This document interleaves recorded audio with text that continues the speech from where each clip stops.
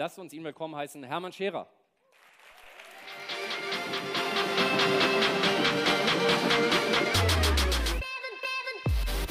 Vielen Dank. Wunderschönen guten Nachmittag oder Vormittag, oder ist ja auch egal, was es ist. Ihr Lieben, drei Fragen an euch, um euch besser kennenzulernen. Erste Frage, wer von euch ist innovativ neuen Dingen aufgeschlossen?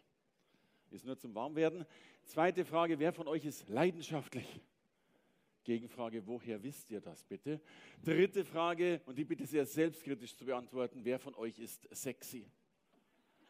Okay, ja, ich weiß, erste Reihe darf immer. Ich weiß auch, die Frage ist wahnsinnig schwer, noch dazu, wenn du mit einem Ehepaar oder sowas, unter, also wenn du als Paar unterwegs bist, dann geht es gar nicht mehr, weil da kommt so eine Dynamik auf einen und sagt, willst du dich etwa melden?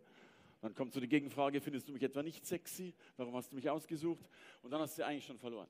Und das Einzige, was ich mein ganzes Leben mache, und darum geht es heute, ich versuche Menschen, die sexy sind, zu sichtbar zu machen, Menschen, die nicht sexy sind, sexy zu machen und auch sichtbar zu machen.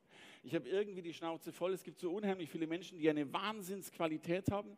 Die schicken mir Bewerbungen, schicken mir irgendwas, wo dann drin kommt, was die alles können, was die alles gelernt haben. Und dann frage ich die, wie viel verdient ihr mit dem? Und dann sagen die, viel zu wenig, kann meine Miete nicht bezahlen. Und ich stelle fest, du brauchst Qualität, die ist wichtig. Können wir uns darauf einigen? Könnt ihr einmal alle mit Ja antworten, wenn ich sage, Qualität ist wichtig? Ja. Habe ich nicht verstanden? Qualität ist wichtig? Ja. Qualität ist wirklich wichtig?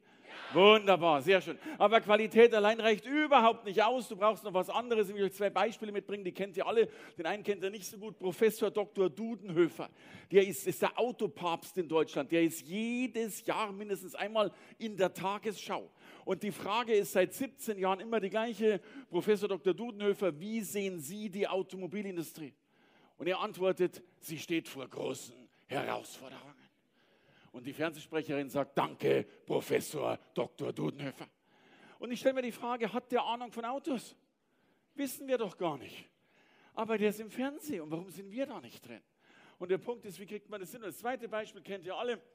Ich habe von Sport nicht die geringste Ahnung. Müller Wohlfahrt, dieser Wahnsinnsarzt. Ich habe einmal eine Sportsendung gesehen, Fußballspieler spielt, wird gefault und liegt so richtig da und ah! Und du denkst dir, mein Gott, arme Sau, ein Leben lang im Rollstuhl. Und dann sagt der Fernsehsprecher, und jetzt kommt Dr. Müller Wohlfahrt. Und der kommt ja nicht, der gleitet. Der geht ja so, wow, wow. Und dann geht der hin und macht Tätschel, Tätschel, Tätschel. Und der Mann steht auf und spielt weiter. Und der Fernsehsprecher sagt, Danke Deutschland, danke Dr. Müller-Wohlfahrt. Und meine Frage an euch, muss der Kerl eine Tombola durchführen, um neue Kunden zu gewinnen? Nee, muss er logischerweise nicht. Und die Frage, die sich mir immer stellt, ist, wie kriegt man das hin? Denn ihr müsst meine Geschichte kennen und ihr müsst auch wissen, warum ich so pervers ticke und denke. Ähm, ich bin eigentlich sowieso gar nichts. Äh, aber ich bin Lebensmittelhändler gewesen und äh, ich habe aber dann relativ früh schon, meine Eltern, meine Schwester ist früh gestorben und ich war in große Schwierigkeiten und so weiter, bin mit 14 zu Hause ausgezogen und irgendwann kam mein Vater doch noch auf mich zu und sagt, Hermann, es wird Zeit, dir das Erbe zu überschreiben. Und ich sage, Mensch Vater, ich mag die Art, wie du denkst.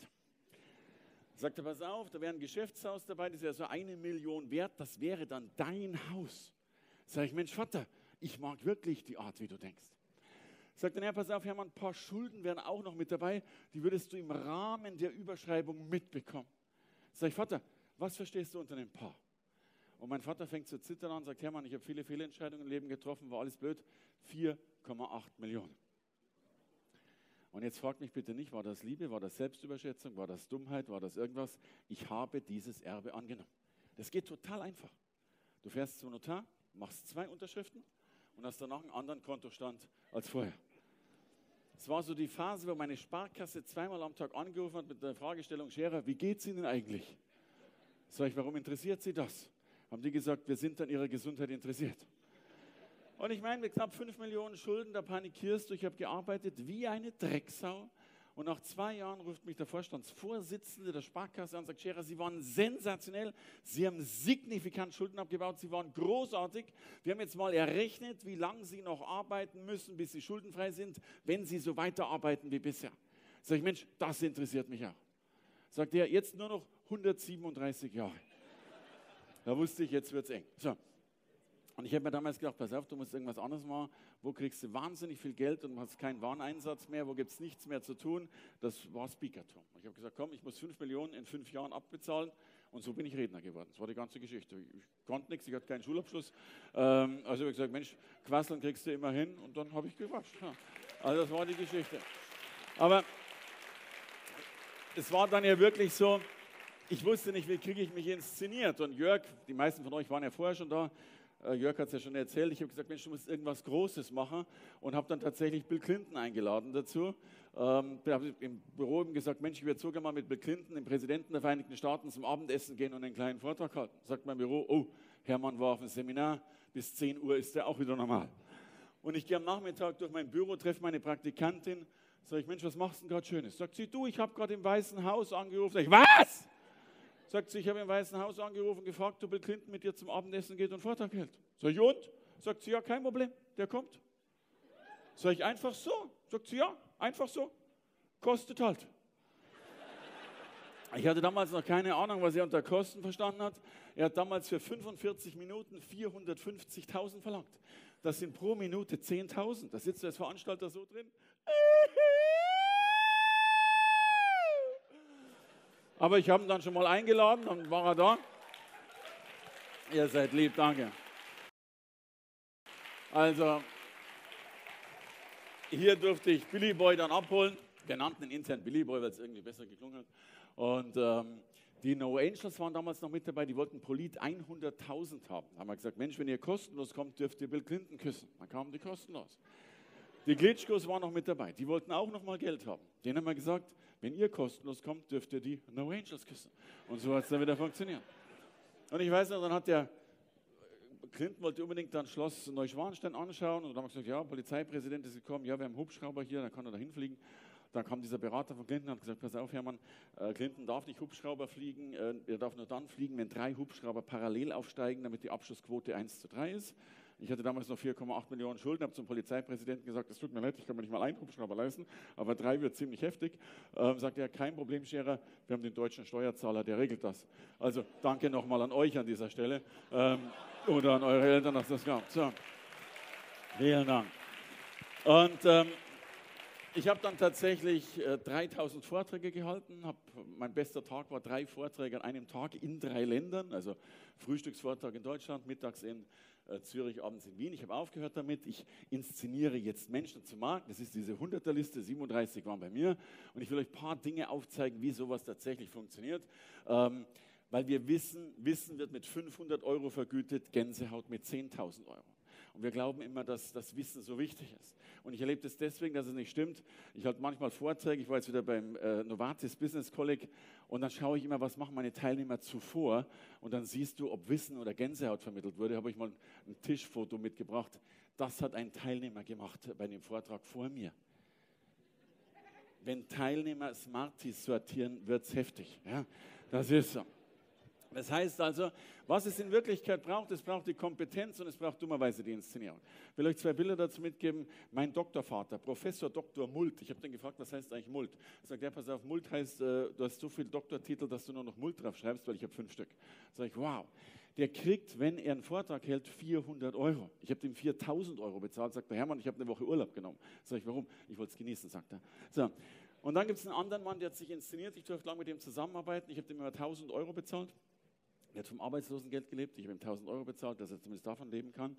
Äh, irgendwann hat es dann geklappt mit seinem Buch. Das Buch heißt Wer bin ich und wenn ja, wie viele? Und der Mensch heißt Richard David Precht und ist von null Arbeitslosengeld auf 30.000 Euro in der Stunde gestiegen. Und das hat was mit Inszenierung zu tun und nicht mehr mit der Qualität. Und ich will euch so ein paar Bilder mitgeben, was Inszenierung bedeutet. Ihr alle kennt dieses Experiment von der Washington Post. Man hat damals in Washington bei einem U-Bahn- oder Bahnhofseingang den besten Violinisten der Vereinigten Staaten, Joshua Bell, der steht hier oder baut hier gerade auf, eben gebeten zu spielen auf seiner 2,5 Millionen Dollar Stradivari. Und man wollte herausfinden, er war so ein bisschen verkleidet mit Basscap und so weiter, man wollte herausfinden, wie sehr wird seine Musik honoriert.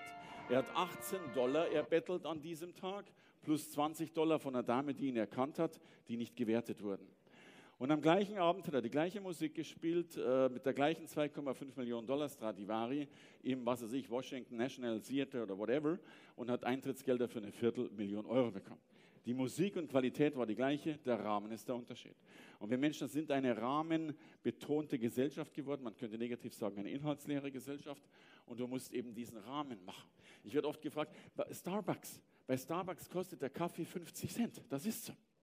Aber dieses, hey babe, what's your Vorname? I love you, Schnuffelpuffel. You like lactose or not lactose? I love you so much, baby. What's your Vorname, baby? I love you. Oh, give me the coffee, please. Das macht 6 Euro aus. Das ist so. Ich werde immer gefragt, warum. Ich komme aus Bayern. In Bayern gibt es das Oktoberfest. Jedes Jahr die gleiche Diskussion. Die Maßbier 10,50 Euro mindestens. Sag ich, nein! Die Maß kostet 50 Cent. Aber dass du mit 10.000 anderen Besoffenen da drin sitzen darfst, das macht 10 Euro extra aus. Dann sagen die mir, Mensch Hermann, warum kostet die zweite Maß dann immer noch so viel? Ich sitze ja schon drin. Sag ich, ja, jetzt wird es lustiger. So. Und das ist so und nennt Tim. Tim, ein sensationeller Musiker, großartig, super Mucke, aber er hat es nicht geschafft, irgendwie sich hinzubringen. Also hat er einen Masterplan entwickelt und dieser Master habe ich mitgebracht in Hamburg in dem Restaurant der Tischdecke. Wie werde ich der größte Rockstar? Henna in die Haare, listen to David Bebo. Ich bin jetzt ab jetzt, also ich bin nicht bisexuell, aber ich bin jetzt ab jetzt bisexuell. Ich setze meinen Hut auf, ich gehe nie wieder nüchtern auf die Bühne, nur noch auf 1,2 Promille. Wer nüchtern ist, bleibt unten. Du musst besoffen sein, um zu spielen. Und er hat gesagt, Mensch, Tim ist ein schlechter Name. Tim, das klingt so nach Timmy-Leinchen. Das ist schon auch gar nichts. Komm, wir streichen Tim und machen Udo Lindenberg draus. Und so ist aus Udo eben Udo geworden. Und der Punkt ist heute nicht nur die Qualität allein, sondern logischerweise die auch hinzubringen. Nehmt Julia Enders zum Beispiel. Ihr, ihr kennt die Geschichte, äh, Dame, die, die Medizin studiert, also war noch nicht zu Ende studiert. Und ihre Kommilitonin, Originalzitat, sagt, hey, wie geht eigentlich Kacken? Und daraufhin erklärt sie 20 Minuten mit Feuer und Flamme, wie Stuhlgang funktioniert. Dann sagt die, da ist bald ein Science Slam. Hättest du Spaß, einen Vortrag über Stuhlgang zu halten? Und dieses Mädle hält einen Vortrag über Stuhlgang mit PowerPoint-Folien. Da sind die sieben europäischen Konsistenzstufen drauf. Von zu hart bis flüssig. Und dieses Mädel bekommt Standing Ovations. Und es geht ein Verleger auf sie zu und sagt, hey, wollen Sie ein Buch über Stuhlgang schreiben? Und ganz im Ernst, wenn ihr mich vor drei Jahren gefragt hättet, soll ich ein Buch über Stuhlgang schreiben? Ich hätte gesagt, lass es bleiben. Aber sie hat ein Buch über Stuhlgang geschrieben und hat über drei Millionen Bücher verkauft. Multimillionärin mit Stuhlgang. Zu Weihnachten gab es die Sonderedition. Darm mit Charme mit Schleife. Das ist so. Und und jetzt kommen ja zwei Dinge dazu. Sie hat jeden Professor weltweit vom Publikationsthron gestoßen. Es gibt keinen Professor auf der Welt, der mehr publiziert hat über sein Gebiet als eben sie. Und mittlerweile hat sie einen Trend ausgelöst. Die ganzen Professoren schreiben nicht mehr so, wie sie geschrieben haben. Das war ja sowas wie lateinisches Fremdwort 1, Fremdwort 2, Fremdwort 3, Fremdwort 4, Titel ist zu Ende. Nein, die schreiben jetzt anders, weil sie den neuen Trend gesetzt hat. Guck den Professor an. Ein Keim kommt selten allein. Hurra! Also, und was, was sind wir für eine Gesellschaft geworden? Guckt mal, den Kerl kennt ihr alle, unser Fernsehrichter. Die wenigsten wissen es das. Der war als Bundespräsident vorgeschlagen. Hallo! Mosi kennen wir eh. Und vielleicht muss ich sogar noch so weit gehen. Ich habe euch vorher gefragt, ist Qualität wichtig? Ja, Qualität ist wichtig. Vielleicht ist sie gar nicht wichtig. Ich weiß es gar nicht, ob Qualität. Vielleicht ist sie gar nicht so wichtig. Ich habe im Schweizer Markenforum einen Vortrag gehalten, vor mir Unilever Manager. Unilever ist so der Multibrand, äh, DAF, FAR, wie die alle heißen, steht auf der Bühne und sagt, wollen Sie wissen, wer ist Marktführer in Deutschland für Duschschaum? Ja, und dann denkst du schon, klar ist Zuhörer, es wird schon DAF oder FAR oder irgend so eine Marke sein, die eben Marktführer in Deutschland für Duschschaum ist. Sagt er, nein, der Marktführer in Duschschaum ist eine One-Man-Show oder One-Frau-Show, no CEO, no CFO, no COO, überhaupt ohne O. Äh, es ist Bibi. Wer von euch kennt Bibi? Ja, Bibi. Bibi, Bibi. Hey. Hallo meine Lieben und willkommen zu meinem neuen Video, zu einem sehr, sehr, sehr besonderen Video. Und wenn ihr spürt... Hey, da kaufst du schon, damit die aufhört. Und ich, ich sage noch zu Hause bei mir in der Familie, ich sage noch, Mensch, welcher Idiot duscht bitte in Bibis Duschschaum? Sagt meine neunjährige Tochter zu mir, Papa, du jeden Morgen. Und ich schaue in diese blöde Duschschublade rein und sehe da so ein Coconut Crispy Donut Cream Schnuffelpups, stinkt normal Pups, äh, irgendwas. So. Und, und ja, ihr alle kennt die Geschichte von, von diesem Ribery. Das war so ein Fußballmensch mit dem goldenen Steak, oder? Ich, ich war letzte Woche in Dubai, wollte in gehen essen. Ich denke mir noch, goldener Steak, was soll dieser Mist? Dann habe ich den mal gegoogelt. Er wisst der ist bekannt geworden, weil er dieses Salz so gestreut hat, so, so, so schwul, unästhetisch. Ne? Also ich meine, das ganze Salz nochmal über den verschwitzten Ellbogen drüber, ne? so schöne Salzschwitze hat auf jedem Kontinent ein Steakhouse, macht Millionen mit Steaks, weil ihr wisst, was Gold kostet. Gold, ein Blatt Gold kostet ungefähr vielleicht 5 Euro, wenn es ist, aber wenn er es drauflegt, kostet es 1200 Euro. Ich habe den mal gegoogelt von der Positionierung her. Wikipedia, ich kann den Namen gar nicht aussprechen, sorry, Nusret Götschke. Aber was ich viel spannender finde, ist die Positionierung. Fleischer!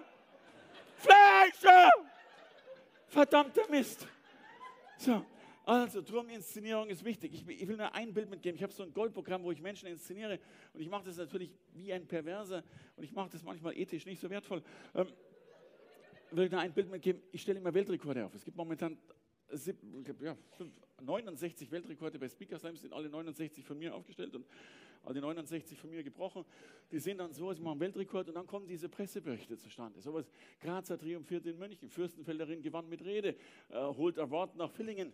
Es kriegt ja jeder ein Award, also es ist eh Quatsch. Ja? Ähm, dramatische Rede, Weltrekordhalter kommt von Mittelrhein und von 70 anderen Städten, weil ja jeder einen Weltrekord hat äh, und so weiter. Also so versuche ich tatsächlich Bilder, die war auch so nett hier, das sind so fünf Minuten Reden, mit denen wir Weltrekord machen, fand ich auch nett, Oberösterreicherin des Tages geworden. Ne?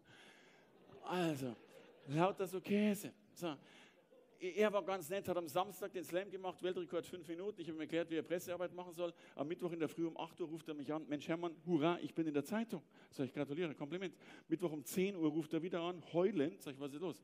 Sagt der Hermann, der erste DAX-Konzern hat bei mir angefragt wegen dem Vortrag. Sag ich, ja, wo ist das Problem?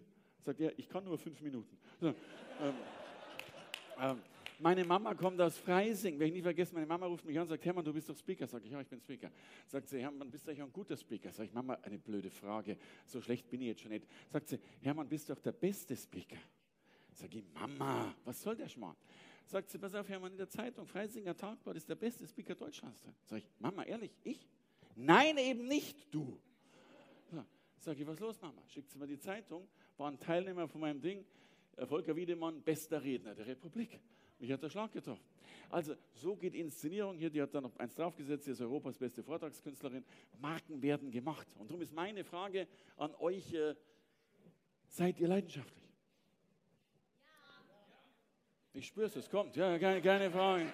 Also, und mit, und mit ich meine nicht diese Doofnummer mit Leidenschaft, weil, weil Leidenschaft ist nicht so was, Leidenschaft heißt nicht heute Chaka, Hurra und so weiter morgen. Leidenschaft ist so eine Lebensleidenschaft, so dieses ever, ever, ever dranbleiben. Es gibt so diesen schönen Witz von, von ich weiß nicht, ob es ein Blondinen, Brunetten es ist dummerweise so ein genderblöder Witz, aber ich kann anders nicht erzählen. Also eine junge Dame sagt zum Professor, lieber Professor, ich würde wirklich alles, alles, alles, alles tun, um die gute Note zu bekommen.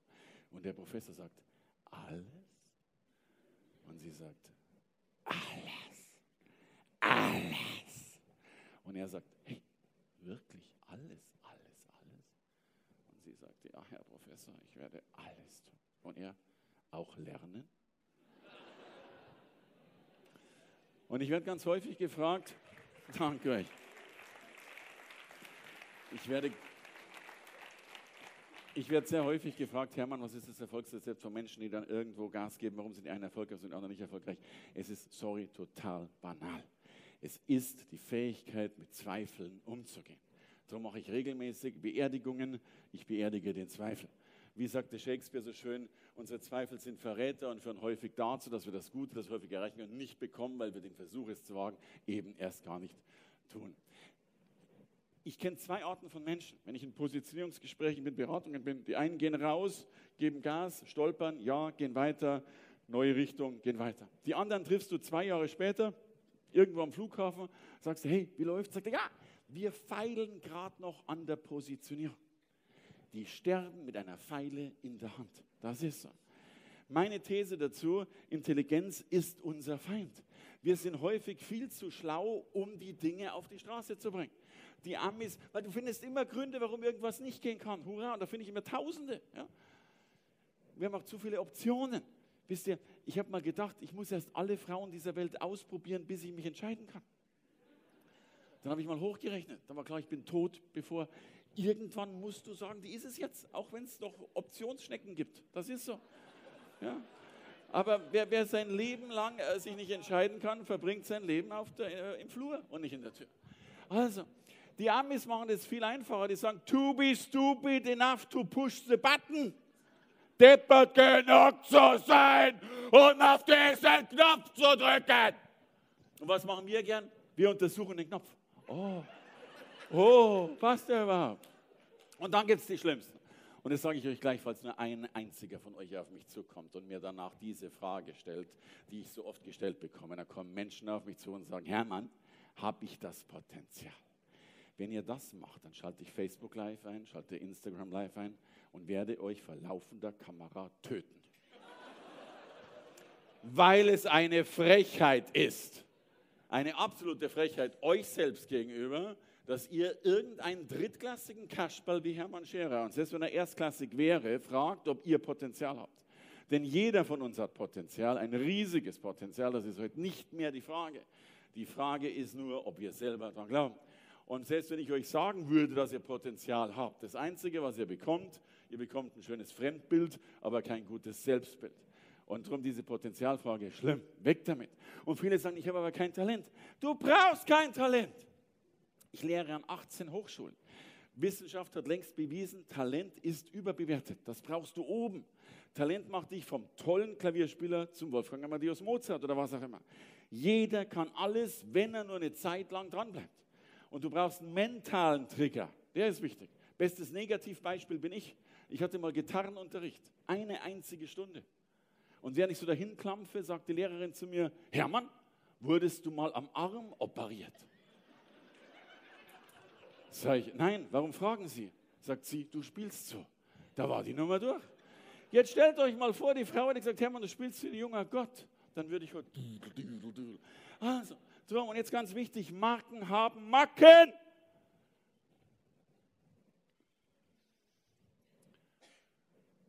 Und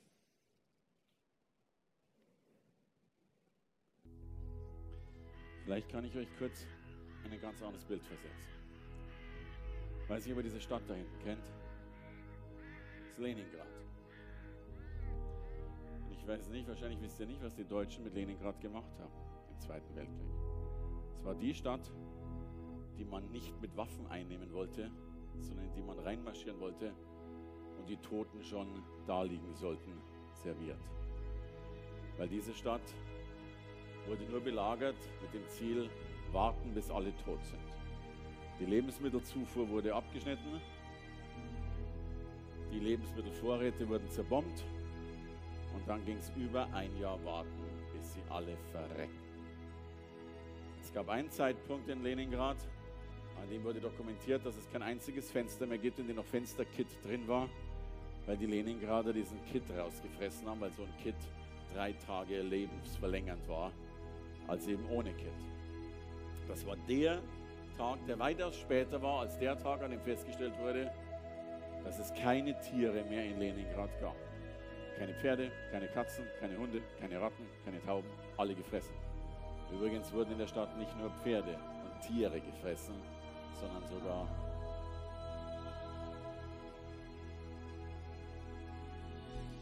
Es sind am Tag über 10.000 Menschen gestorben. Über eine Million ist verreckt, weil das unser Ziel war. Ich entschuldige mich heute noch als Deutscher dafür, dass das der Fall ist. Ich entschuldige mich noch mehr dafür, dass selbst mein Vater an der russischen Front gekämpft hat. Wenn ich jetzt aber diese Stadt anschaue und diese wunderbaren Bilder sehe, dann stelle ich mir die Frage und die These auf, vielleicht war es genau dieses Schlimme, dieses Dramatische, was danach zu dieser großen Größe, zu dieser großen Macht, zu diesem wunderbaren Glanz geführt hat. Und wenn ich heute New York anschaue, wo ich feststelle, es gab vor 9-11, nach 9-11, wenn du vor 9-11 in New York hingefallen bist, hat man dich liegen lassen nach dem Motto, hey, die Stadt ist schnell, ist speedy, hau weg, Zeug vorbei. Jetzt wenn, kannst du New York gar nicht mehr hinfallen, die, die, die, die fangen dich schon auf, bevor du in der Fluglinie bist. Und wenn ich meine 5 Millionen Schulden anschaue, dann bin ich heute der Meinung, wahrscheinlich war es gut, dass ich die 5 Millionen hatte, weil ich anders vielleicht nicht so groß denken konnte, wie ich es eigentlich wollte. Und wenn ich euch anschaue, dann habt ihr wahrscheinlich alle schreckliche Narben schon erlebt, schreckliche Geschichten erlebt, Dinge erlebt, die wahrlich nicht gut waren. Und vielleicht habt ihr heute noch Schmerzen und Wunden und viele, viele Dinge in dieser Richtung. Und vielleicht ist genau dieser Punkt der richtige und wichtige und entscheidende Punkt, um vielleicht genau aus diesen Narben das Großartige zu machen, eben nicht darunter zu leiden, dass man sie hat, sondern vielleicht sogar auf die Bühnen dieser Welt zu gehen und anderen Menschen zu helfen, die genau diese Narben haben, weil wir es brauchen, die Welt zu wandeln. Und darum heißt auch diese Stadt nicht mehr Leningrad, sie heißt heute, weil sich einen neuen Namen gegeben hat, St. Petersburg. Und ich möchte euch bitten, egal wie viele Leningrade ihr erfahren habt in eurem Leben, macht euer Petersburg daraus, um Menschen ein wenig wertvoller zu machen, als sie eh schon sind. Dankeschön. Vielen Dank. Danke. Danke euch von Herzen. Und das heißt natürlich, wir müssen loslassen. Das ist keine Frage. Wir müssen loslassen von den Dingen, die wir haben. Wir Menschen lassen fast nie los. Wir wollen schon den neuen Job haben, aber den alten nicht kündigen. Wir wollen einen neuen Partner haben, aber dem alten nicht sagen, dass Schluss ist. Äh, wir wollen so vieles an neuen Dingen, aber erreichen es oft nicht. Loslassen. Über 80 Prozent aller Wirtschaftsfehlentscheidungen geht darauf zurück, dass wir festhalten. An wie vielen Strategien haltet ihr fest? Nicht, weil sie gut sind, sondern weil sie teuer waren. Wir sind immer wieder Festhalter geworden. Das heißt, wir müssen manchmal sogar loslassen von Gewohnheiten, die uns andere aufobtruiert haben.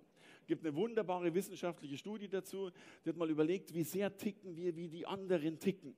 Und dabei kam eben raus, dass eben alle das tun, was andere tun. Man hat das in der Augenklinik gemacht. Der Film ist mittlerweile recht bekannt, zeigen viele meiner Kollegen. Ähm, man hat in der Augenklinik einen Patienten drin gehabt und der Rest waren Schauspieler. Und jede Minute hat es in dieser Klinik gepiepst. Und dann hat man eben geguckt, äh, die Schauspieler sind in dieser Minute aufgestanden und haben sich wieder hingesetzt bei den Pieps. Und die Fragestellung war, was wird mit dieser einen echten Person passieren? Wird die auch mal aufstehen? Und wenn ja, wie lange dauert es? Habe ich den Film mal mitgebracht. Das war das Ergebnis dieser Studie.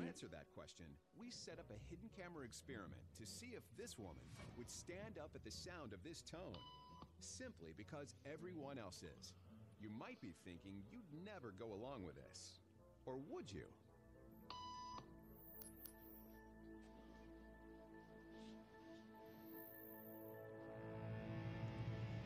After just three beeps, and without knowing why she's doing it, this woman is now conforming perfectly to the group. But what happens if we take the group away? Elaine, please.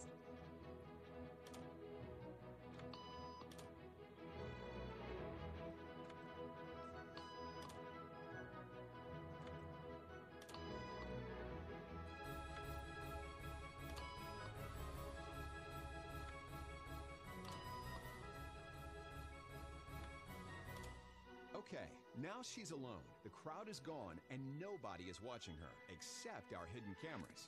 What do you think she'll do?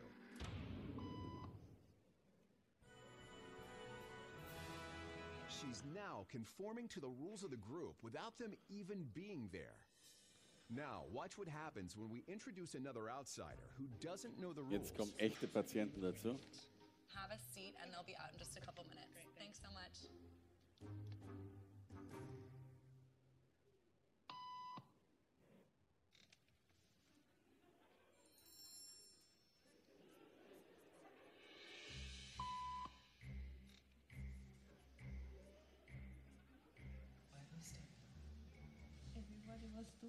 So I thought I was supposed to. Think she'll teach the new guy what to do?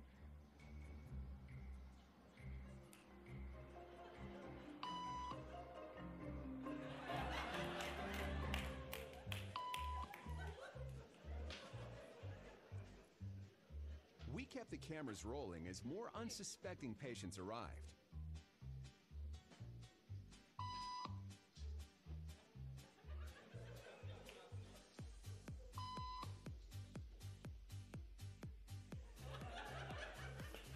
Also so geht es weiter. Darum halte dich fern von negativen Menschen, denn sie haben für jede Lösung ein Problem. Und was wir in Wirklichkeit brauchen, das heißt Regelbruch. Wir müssen Regeln immer wieder brechen. Selbst die hochseriöse Hochschule St. Gallen, an der ich lernen darf, hat mittlerweile einen Lehrstuhl für Guerillatechniken. Dann sagt meine Stunde, was heißt ein Guerilla? Sagt, das heißt Regelbruch. Dann sagt er, was bitte schön ist Regelbruch? Dann erzähle ich die Geschichte von den beiden Bauern, die einen Esel für 400 Euro verkaufen wollten. Dann stirbt ihnen der Esel weg. Sagt der andere, kein Problem, das kriegen wir schon noch hin. Dann kommt er zwei Wochen später, sagt du, ich habe für den toten Esel noch 398 Euro bekommen. Sagt er, wie für den toten Esel? Sagt er, ja, habe eine Tombola durchgeführt. 200 Lose, a 2 Euro, Hauptpreis ein Esel. Sagt der andere, hat sich denn da keiner beschwert? Sagt sich, doch, doch, doch, doch, doch. Der, der den Hauptpreis gezogen hat. Dem habe ich das Geld zurückgegeben. Ja, das ist, so funktioniert Fernsehen. so funktioniert Fernsehen. Ich habe eine eigene Fernsehshow in Hamburg, äh, täglich, täglich eine Stunde. Mich trifft der Schlag, das müsst ihr finanzieren. Also machst du irgendwelche Gewinnspiele mit toten Eseln. Also, ähm, Regelbruch, mein Lieblingsfilm dazu.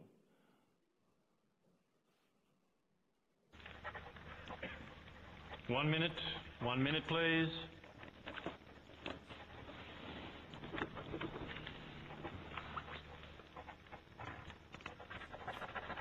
Time, thank you. Could you all please put down your pens and bring your papers to the front of the room? Thank you. Well done. Thank you. Thank you. Thank you.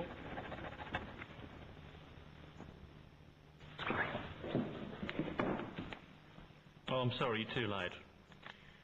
Gave you plenty of warnings about time. You failed. Sorry. Excuse me, do you know who I am? I have absolutely no idea. Good.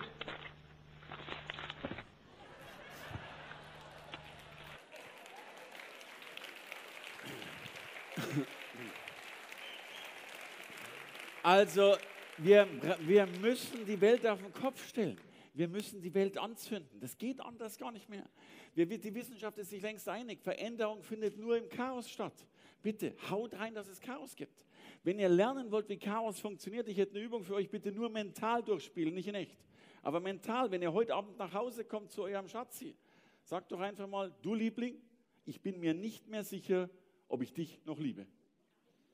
Nur zum Üben, nur zum Üben. So. Ihr kriegt in der Regel zwei Antworten. Antwort eins, gut, dass du es ansprichst. Ja, oder was auch immer. Und das Schöne ist doch heute, du kannst auf dieser Welt alles erreichen. Was du nicht kannst oder hast, kannst du dir kaufen, antrainieren, was auch immer. Du brauchst eine bessere Dramaturgie, hol dir einen Dramaturgen. Du kannst schlecht sprechen, hol dir einen Stimmtrainer. Du kannst irgendwas anderes schlecht, hol dir einen Experten dafür. Du bist selbst ein Idiot, hol dir einen Partner. Ja? Also irgend, irgendwas geht immer. Und der Hauptpunkt ist, und mein Team hat gesagt, ich muss dieses Bild reinführen, weil ich, ich darf nicht Fäkalsprache sprechen, aber jetzt kommt einmal Fäkalsprache, weil ich liebe diese Fäkalsprache in dem Fall mein Lieblingssatz, zwei Jahre Scheiße fressen, den Rest des Lebens Champagner trinken. Das passt. Die meisten wollen nur Bier. Und das ist großartig. Und bitte, ich kriege eins mit und bitte denkt da immer dran, ihr seid ja alle noch zwei Jahre jünger als ich. Ähm, alles im Leben ist ein Tauschgeschäft. Es gibt nichts, was nicht Tausch ist. Ihr habt gerade Zeit eingetauscht, 35 Minuten, um hier zu sitzen. Ich hoffe, ihr kriegt mehr mit, als diese 35 Minuten wert sind egal was ihr tut, ihr tauscht immer. Und was wir brauchen, ist logischerweise eine Tauschphilosophie, Tauschecke, um das zu tun. Und wenn Menschen, zumindest in einem vernünftigen Alter, irgendwo dastehen, übrigens, hallo Jim, dastehen und sagen, Mensch, ich habe kein Geld, dann haben sie in der Regel schlecht getauscht. Das ist so. Und bitte tauscht immer. Ich bin Flüchtlingskind äh, aus Jugoslawien und ich bin immer mit einem Bus nach Jugoslawien gefahren. Und da war immer ein Bettler dabei, Karl der Bettler, der konnte nicht gehen, immer wenn er gegangen ist dann musste der, war wie so ein Hampelmann, der konnte nicht anders gehen. Und ich habe damals noch gar nicht realisiert, was der gemacht hat, aber der ist in Jugoslawien immer, in den, der ist nicht in den Puff gegangen, der hat den Puff gekauft. Und ich habe gesagt, Mensch, Karl, wie machst du das? Du bist doch Bettler. Sagt er ganz einfach. Ich bettle 220 Tage im Jahr, kriege 400 am Tag, sind, ich habe es jetzt runtergerechnet, auf die Hälfte sind 44.000 netto bar auf die Hand, auf die Tatze. Bei 400 sind das 88.000 Euro netto bar auf die Hand. Ich will damit nur sagen, solltet ihr weniger als 88.000 Euro netto bar auf die Hand im Jahr verdienen, könnte man über einen Berufswechsel nachdenken. Und das meine ich ernst. Aber wir denken dabei so digital. Digitales Denken heißt bei uns, wir denken immer so yes oder no, geht's oder geht's nicht, kriegen wir es hin, kriegen wir es nicht hin. Ich darf den VDI betreuen, Verein Deutscher Ingenieure. Dann sagt der Präsident zu mir, Scherer, wir denken so digital. Ich erzähle Ihnen jetzt den Witz, danach haben Sie es verstanden. Sag ich, Mensch, Herr Präsident, ich habe noch nie ein Witzbriefing erhalten, aber hauen Sie rein. Sagt er, pass auf, treffen sich zwei Ingenieure, sagt der eine zum anderen, ui, neues Fahrrad. Sagt der andere, ja, stell dir vor, gestern Abend, ich gehe gerade so durch die Stadt, radelt eine Frau an mir vorbei, sieht mich, springt vom Rad, reißt sich die Klamotten runter und sagt, nimm dir, was du brauchst. Sagt er, habe ich das Fahrrad genommen. Sagt der andere Ingenieur, gute Wahl. Die Klamotten hätten eh nicht gepasst. Und das ist digital und das macht keinen Sinn. Und darum möchte ich euch zum Abschluss einen Satz sagen bitte, das Gegenteil von Zweifel ist Commitment. Commitment heißt, die Dinge durchzuziehen bis zum bitteren Ende. Und wenn meine Mentis scheitern, dann scheitern sie zu 99 Prozent an fehlendem Commitment. Weil wir in einer Gesellschaft leben, die Commitment verbietet. Vielleicht noch ein Bild dazu geben. Wenn du als Arbeitnehmer einen Mist baust in Deutschland und deine Firma ruinierst, dann ist dein Arbeitgeber immer noch verpflichtet, dir ein gutes Zeugnis zu schreiben. Du kannst Milliarden in den Sand setzen, in deinem Zeugnis steht drin, du warst großartig. Nirgendwo wird mehr gelogen als in Arbeitszeugnissen und am Trauertag. Und wenn du bitte Kinder anschaust, dann erlebe ich genau das Gegenteil. Meine Tochter ist jetzt in der vierten Klasse, hat eine Klasse übersprungen, warum auch immer. Also drei Jahre Schulerfahrung, in diesen drei Jahren sieben Kinder zurückgesetzt worden. Ich finde das eine Frechheit dass Menschen, die erwachsen sind und die eigentlich für ihren Dreck einstehen sollten, ein gutes Zeugnis kriegen. Ein Kind, das noch in der Reifephase ist, das natürlich noch tausend Fehler macht, das kriegt im Zeugnis eine Sechs gezeigt. Das wird gesagt, dass es nicht geht. Und das macht keinen Sinn. Dankeschön. Und um was es braucht, ist Commitment. Es ist Commitment, die Dinge durchzuziehen. Ich weiß nicht, wer Sie vergessen, ich habe einen Auftrag bei Siemens gehabt, irgendeinen so Workshop bin damals mit einem nagelneuen, nachtblauen Porsche 911 Richtung Siemens gefahren, mache einen Totalschaden, alles kaputt, Auto kaputt, anderes Auto kaputt. Zum Glück keinem was passiert. Abschleppwagen kommt, ich steige ins Auto ein, zum Abschleppwagen, der sagt, wo soll ich Sie hinbringen? Sage ich natürlich zu Siemens. So. Also ich gehe zu Siemens hin, mache meinen Workshop, irgendwann so nach dem Workshop, Kamingespräch, kommt der Bereichsleiter, sagt, Mensch Scherer, wie war eigentlich die Anreise?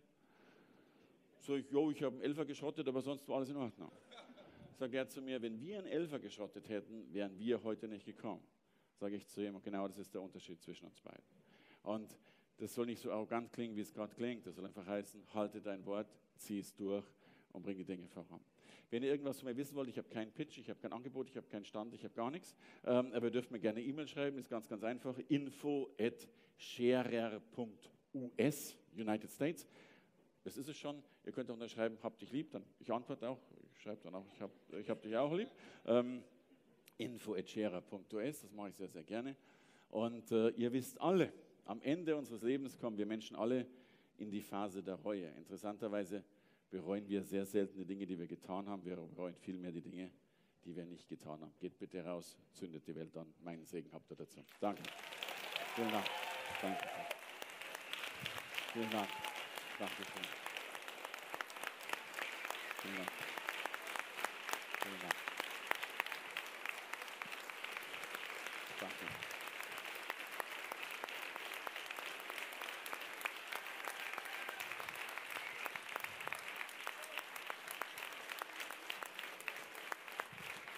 Danke euch von Herzen. Vielen Dank.